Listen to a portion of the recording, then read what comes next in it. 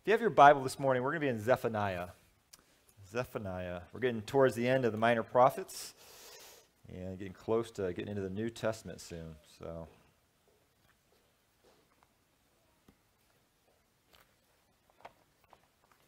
As you're turning to Zephaniah in your Bible, I'm just going to ask God's blessing our time in His Word this morning.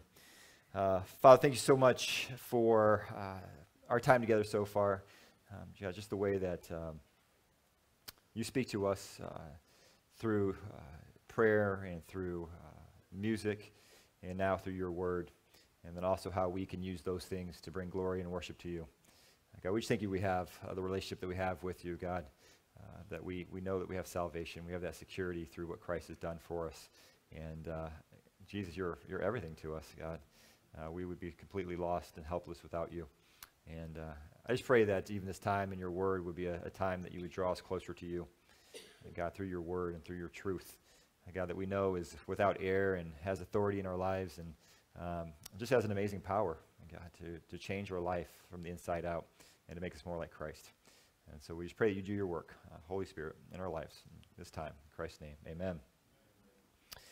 Well, I'm sure you've uh, had a scenario where somebody may have come to you and said, uh, I've got bad news and I've got good news. And the funny thing is, is when I came here this morning, I was talking to Elizabeth and I had some news to share with her, and I've got some, I said, I've got some bad news for you. So I shared the bad news, and she goes, What's the good news? I said, I actually don't have any. so, so I kind of left her hanging, but I will have some good news in the sermon today for you, Elizabeth. Um, but we've all had that scenario, right, where somebody comes and you're like, oh, great, there's some bad news, but hey, there's some good news, right? So it kind of evens out. Um, I remember this is a while back. Uh, my brother just graduated from uh, the Air Force Academy from college, and uh, my parents were throwing a big party at our house uh, for him. We had family and we had friends over. And you know how it is when you have a party at the house, it's hard to find places to park all the cars. And so I was kind of in charge of you know, rearranging the cars and parking them so we could fit a lot of people in the driveway. Um, well, my dad had just bought pretty much uh, maybe a year before that, really recently, um, a brand new uh, Corvette. Um, brand new, no scratches, nothing on it, great condition. And so I had to make some room and the funny thing is, I've never told the story to him, and he might be watching this at some point. So, sorry, Dad. Um, so anyway, I was I was moving the car up, and um, I don't know if you've ever seen a Corvette or know what it looks like. The front end is super long, and it's always hard to tell where the really the front end is. So I'm trying to itch it, you know, inch it closer to uh, where our deck was, where the stairs to the deck was. I was like, oh, I'm good. Got out of the car, parked it, went in the house. Well, next thing I know is my uncle came with some bad news. He's like, Chad, you ran the Corvette into the deck. I was like, no way, there, I, it wasn't that close. He said, yeah, go look. And sure enough, I go out there, and the front end is all bent in, just in, in So that was bad news, right? I was like, oh man, what am I going to do? And um, so I was like, well, hopefully, maybe if I pull it back, those cars are pretty much made out of plastic. So hopefully it'll bend back, it'll pop back into place. So I pull the car back, and sure enough, it pops back into place. No scratches, no dents. I'm glad that happened. Um, and so that's one of the scenarios where, you know, where you get the bad news, and your heart drops, and you're like, oh man, this is going to be a horrible situation. But then you get really good news, and you're like, okay, things are going to be good. Um, for you, maybe it was a car situation, something like that, but um, maybe you've experienced that at the doctor's office before. And uh, you went in, you're thinking, man, things aren't right, I'm not feeling great, and the doctor gives you some bad news. Maybe you have some kind of illness, maybe you have some kind of a, a spot that they found or a cyst that they found or something. Um, but then the doctor says, well, you know what, we do have a cure for this. We have medication for that, or, you know, it's, it's not life threatening, or whatever it may be. And so that might have happened to you at some point. Uh, maybe if you're still in school or you remember being back in school, uh, maybe you took a test you got a test back and you didn't do so good on the test. You got some bad news that either failed or it was just a really bad grade.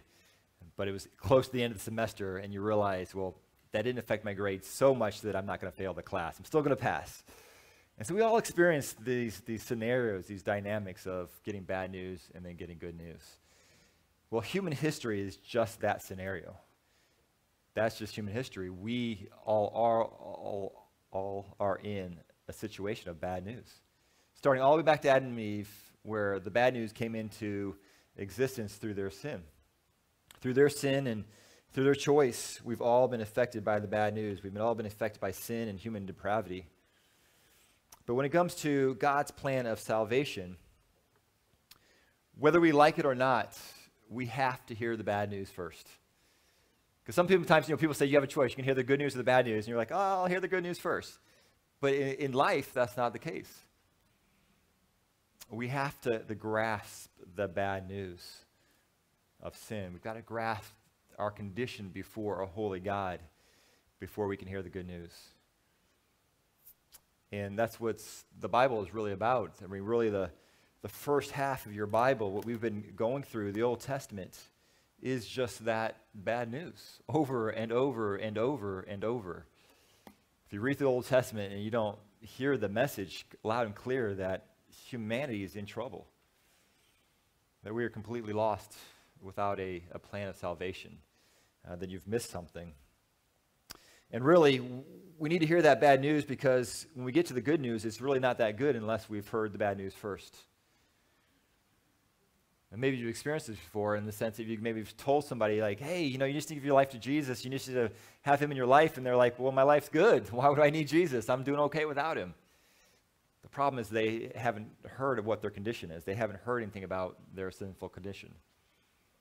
Now, I would guess if they thought deep down inside they already knew their condition, but maybe they've pushed it aside and pushed it down and covered it up with other things and haven't really wrestled with that. But we have, we've got to get to the bad news before we can get to the good news. And um, that's what the prophets help us with. Time and time again, we see that they are a combination of this bad news, good news message. And Zephaniah is, is clearly one of these prophets that brought intense bad news near bad news and the far bad news that we're going to look at here in this book.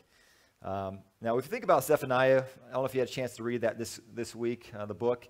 Uh, there's a little bit more about Zephaniah and who he was and his, his past than some of the other minor prophets. Uh, he traces his um, lineage back to Hezekiah, so he actually has royal ancestors. Um, and that's important because if you're a prophet, especially if you're speaking to a king and you want that king to know that you have an important message, it helps to know that you have this lineage back to a former king. And basically, he's saying, We're family. You need to listen to me. He goes, My ancestors were kings of this nation. And this time he's talking to Josiah, and that's who was king at the time of the time that uh, Zephaniah wrote. And so he had a little more cloud, he had a little more weight in his message because of that background. And he makes that clear right off the, right off the bat, the beginning of the, of the book. So again, Zephaniah wrote during the time of Josiah's reign. It dates his prophecy around 640 to 609 BC. Uh, at this point, when he's writing, the spiritual condition of Judah is still really bad. Moral conditions bad, society's really bad, uh, still a lot of wickedness, still a lot of idolatry going on. Um, if you know much about Josiah's reign, at one point he does bring a lot of revival and reformation to the country. But when Zephaniah is writing this, that hasn't happened yet. So in 628, Josiah tore down the altars to Baal. He burns the bones of false prophets and broke the carved idols. In 622 BC, the book of the law was found, bringing about revival to Judah. Now, back when we were studying Josiah, we talked about that situation where the book of the law was found. You can see how what bad of shape they were in if they couldn't even find the book of the law, if it was lost somewhere and somebody actually finds this. And it's true about the Israelites, true about Judah, but it's true about our own life. If you can't find your Bible, that's not a good sign. You don't know where it is, that's not a good sign. It means you probably haven't been in it recently. Some of you guys leave your Bibles here after Sunday, and I'm wondering what you're doing all week without it. some of you guys call, some of you don't. But we need to make sure that our, our, our Bibles are close, the Word of God is close. Um, because when it's not, we see what happened with Judah, they, they drifted far from God. Well, this time the world powers were transitioning from Assyrian to Babylonian. Up to this point, the Assyrians were the great empire of the time. We, we looked at that in previous minor prophets. Uh, Nahum specifically talks about Nineveh. Uh, but now this transition of power is going from Assyrian to Babylonian. And Zephaniah is writing right in the midst of this transfer of power. Um, Judah actually began to experience some independence during this time. Because when you have that power shift, you have really nobody, you know, watching the story, if you will, and no one really was watching over Judah because the Assyrians were too worried about the Babylonians coming, and so uh, Israel had a little bit of time of independence, and that's probably why they had a revival and some good things were happening. But prior to this, and prior to Josiah, there was 55 years of just wicked kings in Judah. And so Josiah brings about this revival to the land, but at the end of the day was too little too late for Judah. God had already made his plans. Judgment was already coming. He had already decided to pour out his wrath on them for their sin. And so Judah would eventually be conquered by the Babylonians, and Jerusalem would be destroyed. So that's the cultural context, the historical context that we're in the middle of right now as Zephaniah is writing this prophecy. Um, if you're a note taker, it's a really easy outline for the book of Zephaniah. Two main points. The first point bad news. Bad news, right? The judgment, the curse of God. And we'll see who he judges and who he curses. The second main point is going to be the good news, the blessings of the Lord. Uh, the bad news comes through chapter 1 all the way through to chapter 3, verse 8, majority of the book. Last portion of chapter uh, 3, 9 through uh, verses 9 through 20 is the good news. So we'll start with the bad news uh, the Lord's judgment for sin. He starts off by talking about judgment on the whole earth, chapter 1, verses 2 and 3. And this is what is called the far fulfillment of the day of the Lord. You may have heard that term before, the day of the Lord. You see that throughout the Bible. Um, you might not know what that is.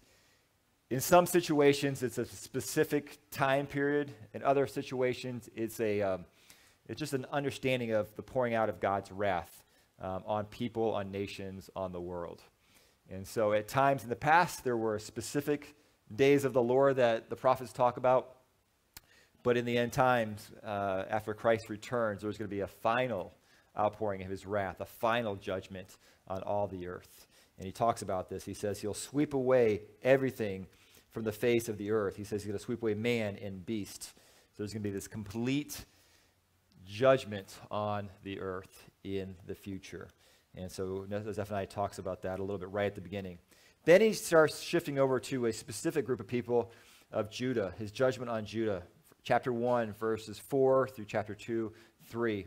And this is what he says to them. Verse 4, he says, He will stretch out his hand against Judah, against all who live in Jerusalem. Why was he going to stretch out his hand against them? Well, this is what they were doing. He says, Those who bow down on the roofs to worship the starry host. Astrology, basically, what that was. They were worshiping the stars. They were trying to get their understanding of the future and what, you know, what was going to happen in their life by setting these, these altars on there they would have flat roofs, so it would look a little different than our roofs. So they would go up to these roofs and they'd worship at night to the stars. And say the Israelites, the Judean, uh, those of Judah were doing this. He says, those who bow down and swear to the Lord, but also those who swear to Molech. So they were mixing their worship with God and their worship with other idol gods. He says, those who turn back from the following the Lord, and those who neither seek him nor inquire of him. So these are the people that we see in Judah right now in this, in this situation. And I think for God, what was worse them forsaking him completely and worshiping these other gods was this mixture of worshiping other gods and worshiping the one true God. I mean, you can imagine the, the anger and the wrath that built up in God when he saw his people mixing the two together.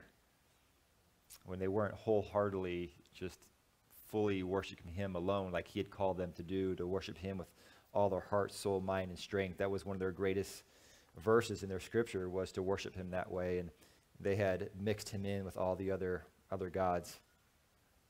Well, I think people do this today too. Don't we or don't people do that today? We kind of hedge our bets a little bit.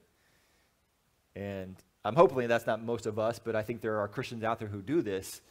Well, I'll do church on Sunday then I'll do kind of the world a little bit during the week. Maybe I'll look at astrology a little bit, kind of see what that has to say.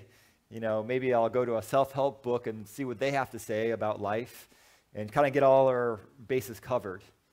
That's really what they were doing. They were trying to cover all their bases by worshiping the God of the Bible and worshiping these idols and worshiping the stars just in case. They could be wrong in one area, maybe the other area would be powerful in their life. And you can see how jealous God was for them, how, how much He desired for them to just forsake all other gods and worship Him alone. You know, so, you know, a good example is this idea of astrology. That's not, I mean, that's not gone away. And if you're, you know, if you're into astrology, if you're into this stuff, that is idol worship. You know, people are, oh, it's just fun, right? It's just, you know, I'm just interested. I just, you know, read the horoscopes in the paper. It's idol worship. It's abominable to God. The other things they were doing is they, it says they were swearing to Molech. They were worshiping this other idol god. And part of that worship to, these other, uh, to Molech was to sacrifice children. I mean, how bad could it get when people were doing that? How heinous and wicked had they come when they were sacrificing their children to Molech? Again, astrology was part of that. Temple prostitution was part of that. And so we are getting to the, the depths and the depths of depravity in Judah at this time. With God, it's all or nothing. We can't mix other things with our worship to Him. In verse 7, we see the near fulfillment of the day of the Lord. He says, Be silent before the sovereign Lord, for the day of the Lord is near. So he's saying this, this, this time of judgment, this time of, of wrath is coming, and it's coming soon. In their case, he was prophesying about the coming of the Babylonians. Like I said, they, they weren't quite in power yet. There's this transition, but God had informed him, informed other prophets that the Babylonians would be the next great power. And they would be the ones that would come in and destroy Judah, destroy Jerusalem. And so Zephaniah goes through the, the extreme of saying, in God's eyes, there will no longer be sacrifice of animals, but God's going to sacrifice you. He's going to put you on the altar. Because if you're not going to sacrifice to Him, if you're not going to worship Him alone, then He is going to sacrifice you.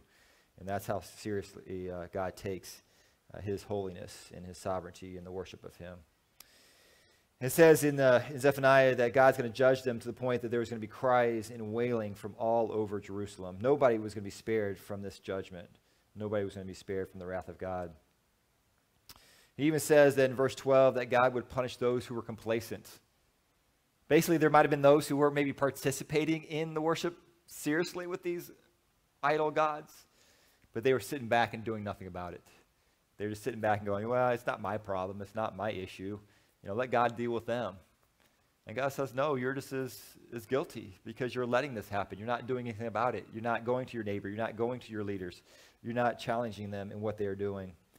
And so nobody was going to escape it. He says it's like wine left in its dregs. I don't know much about how wine is, is made and produced, but I looked into this a little bit and what is this whole dregs thing? What's the dregs of wine? So when wine is produced, even in the process, in the barrels and such, the impurities, what's left over from the grapes, sinks to the bottom. The heavy stuff drinks to the bottom. And that's the stuff that you're not supposed to eat or drink. It's not really supposed to be part of um, your consumption. Um, and sometimes it'll happen in the bottle of wine too. You'll have the sediment at the bottom. And uh, it's, it's the impurity in the wine and the problem is when you're making wine, from my research, if you leave that too long, if you leave the wine in its dregs, it actually will ruin the whole barrel or ruin the whole bunch of wine. And you've heard the, the term dregs of society? That's where it comes from. It's this idea that a certain group of people can spoil the whole bunch. A certain group of people can corrupt the whole bunch. And that's what he's saying about Judah. He said, There's been people in your midst, whether it's the leaders, it's the officials, whether it's the top all the way down, you have these people who have been spoiling the whole country. And he says, I've got to bring judgment because the whole country has been ruined, has been defiled. Where may is this, maybe has this happened in our lives? Where has we left sin undealt with in our personal lives? Where have we left sin undealt with in our marriages, in our families? Maybe sometimes in the church body. And that's why God says in the New Testament how seriously that is to make sure we're dealing with that appropriately. Um, I don't have to tell you where that's happened in our country, where we've said, you know what, we're going to kick God out and we're just going to let things fester to the point where it is right now. Um, if sin isn't dealt with, it's going to multiply, it's going to take over. It's going to consume our lives, it consumes our relationships, consumes our marriages and our families and our country or society. So the dregs have to, got to be dealt with. It's got to be removed from the barrel of wine. Zephaniah lists what the day of the Lord will entail. If you have your Bible, verse 15 talks a lot about this in detail. It says it will be a day of wrath. It says it will be a day of distress and anguish, a day of trouble, of ruin, a day of darkness and gloom, a day of clouds and blackness, a day of trumpets, uh, the sound of battle cries against fortified cities. There will be so much distress that people will grope about like they're blind.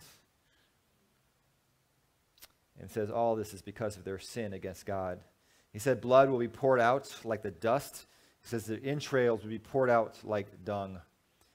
It's a pretty graphic description of what that day of the Lord will look like at that time. He says, and guess what? He says, it doesn't matter if you have a lot of gold, doesn't matter if you have a lot of silver, you're not going to buy your way out of this. Your wealth's not going to save you from this. I think we see that in a, in a great way in our day and age. Some people are like, I don't need God, I don't need church because I've got my money. I can buy my way out of anything. Any trouble I face, I'll just buy my way out of it. You know, if I'm depressed, I'll just entertain myself. If I have health issues, I'll just, you know, go to the greatest doctor and hopefully they can help me in this situation.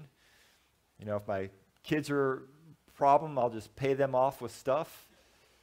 But Zephaniah says when it comes to the day of the Lord, it doesn't matter. The rich, the poor, everybody's going to experience the day of the Lord because nobody is safe. He says, in the future fulfillment of the day of the Lord, he says, the whole earth will be consumed by fire. God will make a sudden end to all who live on the earth. It kind of reminds us of the flood, right? Where he got to the place, says, I am done with these people. I am done with everything I've created. And he wipes out the whole place except for one family. That similar kind of thing is going to happen again. Instead of saving the family of, of Noah, he's going to save the believer. He's going to save those who are followers of Christ. Everybody else who is still living will be affected by this great devastation of fire.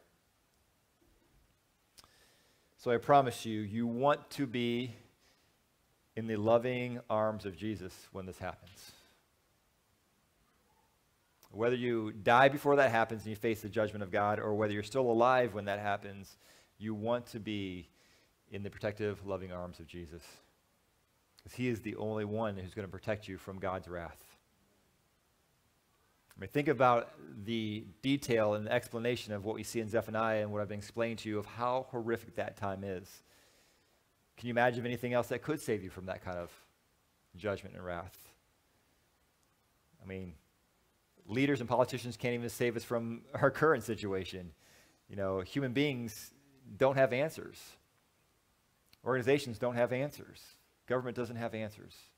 The only thing that can save us from that kind of wrath and devastation is the loving, protective arms of Jesus. You want to be there when this time comes.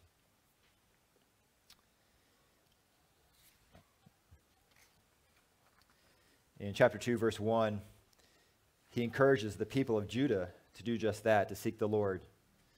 He says, Seek righteousness and humility. And just like in Judah's day, the people thought, well, you know what, I can throw God a bone every now and then, and I'm good. And, but there was so much pride. They thought they had it all figured out. They thought they had a system that they could appease all the gods and they'd be okay. And Zephaniah says, no, it's only going to be those who humble themselves. It's only those who seek after righteousness. And we see this in the Beatitudes as well. He says, The poor in spirit will inherit the kingdom of God. It's only those who hunger and thirst for righteousness that will be filled. We've talked in previous books of, of the danger of pride, how it's the most dangerous of all sins. It's, it's what is like the, the, the soil of sin. It's what, what, what grows sin in our life is this idea of pride, and that was Judah's greatest sin, and it was what Zephaniah was trying to warn them against. So, so far in the book of Zephaniah, we have the judgment on all the earth, we have the judgment on Judah, and now Zephaniah talks about the judgment on the nations. Chapter 2, verses 4 through 15. And basically, what he's going to say, he goes, Nobody's getting off the hook here. Nobody in the world, doesn't matter if you're in Judah, Doesn't matter if you're a Gentile, everybody is under sin. We see that in, in Romans. It says, even though the Gentiles did not have a law, they had a law on their hearts. I hear this a lot when it comes to the gospel and Jesus and Christianity. And people say, well, what about people who've never gone to church? How do they know? You know, what about people who don't have Christian parents? Is that fair that the gospel's on the way and they didn't get brought up that way? What's, why is it, is it fair that people who live in other countries who might be brought up in another religious system? The Bible says that no one is going to be without excuse because the law was written on our hearts. He's given us a conscience to know that there is a one true God and that we've sinned against him. When people swear and they use God's name in vain, they know they're sinning. That's why they use God's name in vain on purpose to know that they are, in a way, like, you know, sinning against God. They don't use Buddha, they don't use other gods, right? They use the God of the Bible as the way they use it in vain. People know that when they abuse God's gift of sex by doing it outside of marriage in a way it wasn't intended, they know that sin because their conscience tells them it is. Can you do it enough? Can you repress that to the point where you don't hear your conscience anymore? You don't hear God's voice anymore? Absolutely. That can happen. But people know when they sin that it's wrong. People know when they lie or when they're deceitful or when they steal that it's sin because it's written on their hearts. People know that lust is sin. People know that anger is sin. People just know that because it was written on our hearts. That's an internal law that God's given every person. And Zephaniah is saying this to the, the other nations. He says, You're not getting off the hook just because you're not a Jew, just because you didn't have the written law, just because you didn't have the prophets. He's going to call out all the nations that had their day of worldly success and power. And he names some of these nations. Um, he says, Philistia, who were the Philistines. We've heard a lot about them in the Old Testament, right? Talks about Moab and Ammon and and Cush and Assyria. Um, he tells Philistia, he says, I'm going to wipe you out, and I'm going to take your land, I'm going to give it to Israel after the exile, after they return. I don't need a Bible to know a lot about God's plan. I got to look at a map. I can just look at a globe and know that God's plan is true and the prophets are true. All I have to do is look at the Middle East, and I know the prophets were right on. Do you know of a, a, a country of the Philistines? Doesn't exist anymore, does it? They're gone. They've been wiped out, just like Zephaniah says. Guess who has their land right now? The Jews, because he says, I'm going to give it to them. And they're going to be enriched by it, and I'm going to bless them by it. So we literally see before our very eyes the fulfillment of, of Zephaniah's uh, prophecy here. And so I think it's going to be even more fulfilled in the end times when there's going to be more of a revival in Israel. Talks about Moab and Ammon. Uh, he said they're going to be like Sodom and Gomorrah. We know what happened to them because their sin, they were wiped out. He says the same thing's going to happen to Moab, Ammon. Those countries don't exist anymore. Those people groups, for the most part, are no longer. He says they're going to be a place of weeds and salt pits, a wasteland forever. Um, Cush doesn't say a whole lot about them, but he says that uh, they will be slain by God's sword, uh, sword. The Assyrians, we know a little bit about them, right? Nineveh, supposedly one of the greatest cities ever built, one of the most fortified cities ever built. He says, uh, The people of Nineveh said, I am the one, and there is none beside me. Where's Nineveh now? It's this kind of broken down, destroyed city of Mosul in, in Iraq, not much of a great city anymore. It's been gone. As great as they thought it was, to God, it was all just matchsticks that he could just destroy at will. Verse 13 says, he'll leave Nineveh utterly desolated, a dry desert. Verse 15 All who pass by her scoff and shake their fist. Last group that Zephaniah talks about as far as judgment is he now zeroes in on Jerusalem. Why Jerusalem? Why is he picking on Jerusalem? Because Jerusalem was the spiritual hub of the Jews, of Judah, and at one point the whole nation. So, what happened in Jerusalem affected the whole nation what the leaders did and the leadership of Jerusalem affected the whole nation. And he says because of the importance of that city and how they had misled the nation, there would be great judgment on Jerusalem. Zephaniah takes great pains to list the sins of Jerusalem. He basically says they had no excuse. He says they were oppressors, they were rebellious, they were defiled, they didn't accept correction, did not trust God, didn't, did not draw near to God. The leaders consumed everything for themselves. He said they were like lions and wolves who just kind of grabbed on the prey and just took it for themselves and devoured it. He says the prophets were unprincipled, the priests were profaned, or profaned the sanctuary. Jerusalem is where God has set up his earthly presence on earth. He had him build a temple, and that's where his glory resided. And they were worshiping other gods in the temple. They were bringing idols into the temple. And you see how angry God must have been because of this. And then Zephaniah says, in contrast, God has always stayed faithful. He's always been righteous. He said, You guys have changed. God hasn't. God has always been the same. He's always stayed faithful. He's always stayed righteous. It's you who have drifted off. So uh, Jerusalem remained unrepentant, even though God had expressed his righteousness and his judgment on the nations all around them. They had already seen it. They already seen the wrath of God and the judgment of God poured out. They saw it in Israel. They saw it in other nations, Gentile nations, yet they weren't willing to repent. For uh, chapter 3, verse 7 says, But they were still eager to act corruptly in all they did. So Zephaniah says uh, that after his patience, God would unleash all his fierce anger. So this happened very specifically in Jerusalem uh, in 597 BC, and it will happen at a great scale in the future. In chapter 3, verse 8, it says, The whole world would be consumed by fire because of God's jealous anger. I don't want to be on the wrong side of that kind of anger and that kind of jealousy. Um, we have no excuses. God's given us the bad news. He's given us the clear future of what God's going to do because of sin. And so if you're here this morning, you've heard it. You've heard the bad news. So you guys ready for the good news now? Because that's a lot of bad news. That's pretty horrific. So let's see what God says about the good news in Zephaniah. He first talks about the good news to the nations, chapter 3, 9 through 10. Verse 9, he says, He will purify the lips of the peoples. So when he talks about the peoples, he's not talking about his people, the Jews, he's talking about all the nations. He says, These are all the saved people from all nations, from all of history. He says they will worship God all together. He says they will serve God shoulder to shoulder. This is a great picture of the unified worship of the church. I mean, right now, it's Sunday morning. We're worshiping here. People are worshiping in other cities.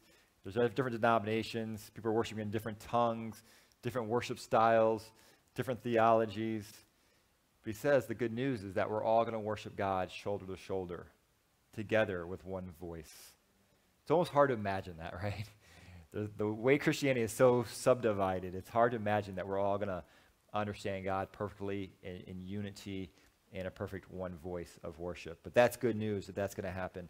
And Zephaniah reminds us of that.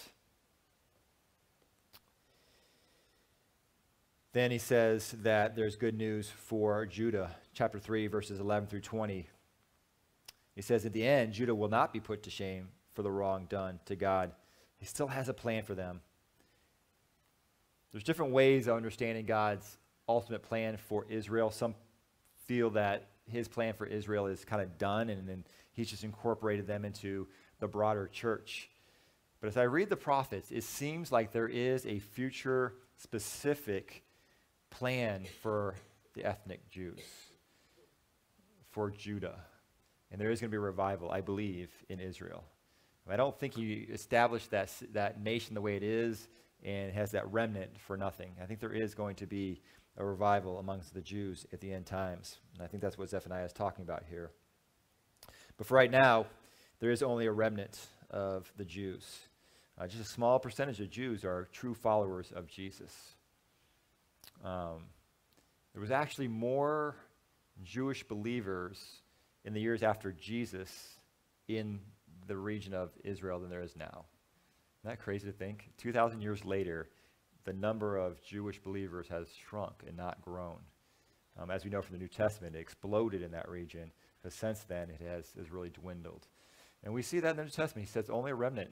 He's only going to you know, save that small remnant of Jews until the end times. But the good news is there will be a revival, I believe, is what he's saying here in the end time. Uh, he says during that time, we see in chapter 3, uh, there's great encouragement to those who are faithfully following God. He says in the, in the future, he says, No one will do wrong. There'll be no lies, there'll be no deceit. They'll find rest and protection. The true believers in God will sing, they'll shout, they'll rejoice with all their hearts. God will take away their punishment, remove them from their enemies, and they will no longer fear harm.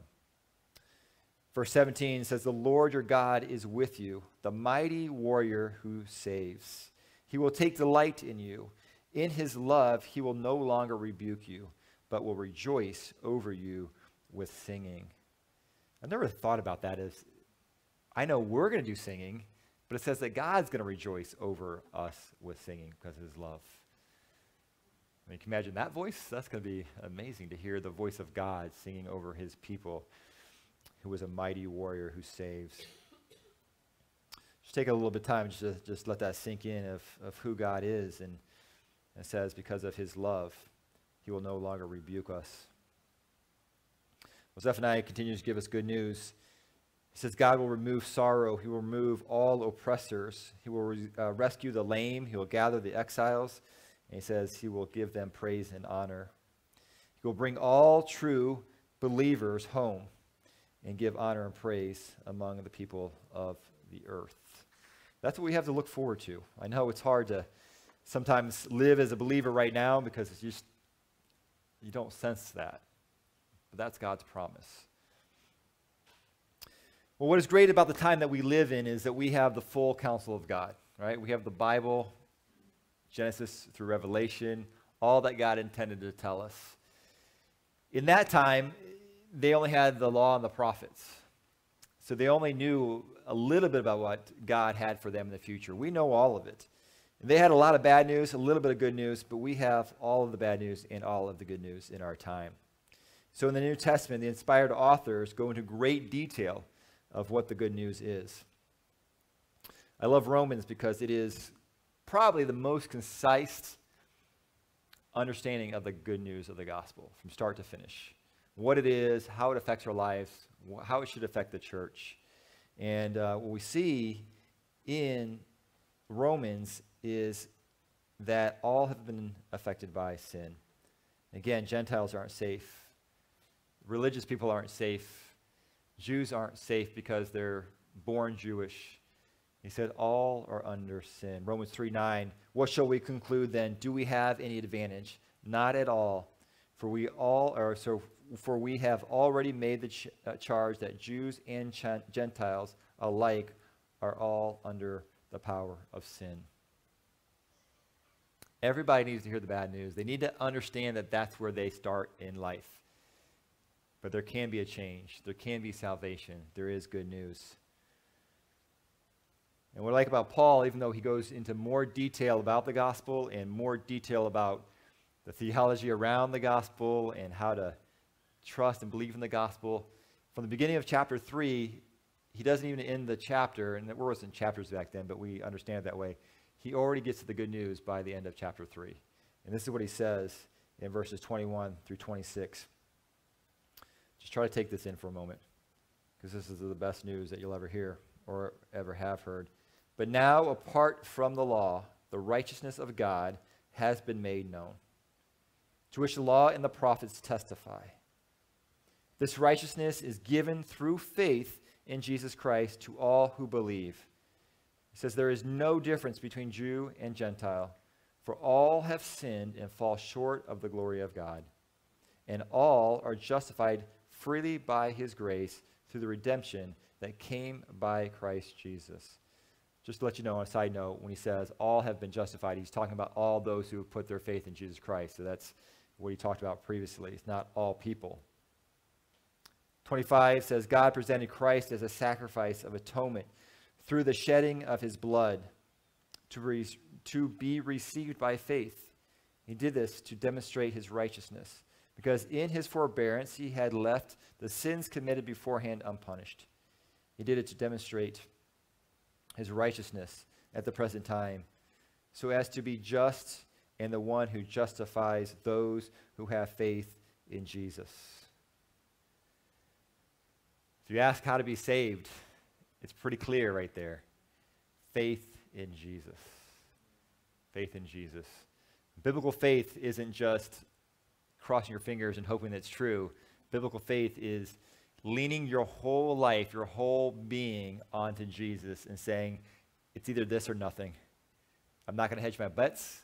I'm not going to hope it's maybe something else besides Jesus. It's saying, I'm all in with Jesus. And I trust 100% that what he did on the cross was sufficient to save me from my sins, was sufficient to pay the penalty for my sin.